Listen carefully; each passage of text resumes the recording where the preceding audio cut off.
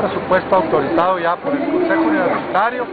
y con datos que nos proporcionó la Secretaría de Educación Pública de 1.498 millones, de los cuales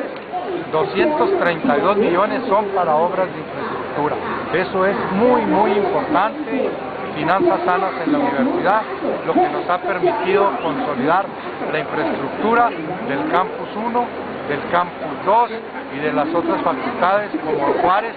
que estamos construyendo el edificio de posgrado